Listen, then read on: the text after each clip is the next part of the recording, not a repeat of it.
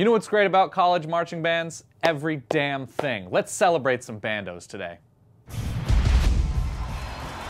The Ohio State Awesome Moonwalking Michael Jackson Group Marching Tribute is an important reminder that when people talk about college football tradition, gotta have marching bands high on that list. Beyond it being an ideal in-stadium soundtrack, you've got crazy hats and shakos, you gotta love that. Crazy high stepping, high stepping's really hard, and they're on the forefront of marching xylophone technology. It's a really hard thing to do, so the next time you see a bando walking around at tailgate or around the stadium, shake their hand, offer them some food and drink. They've earned it.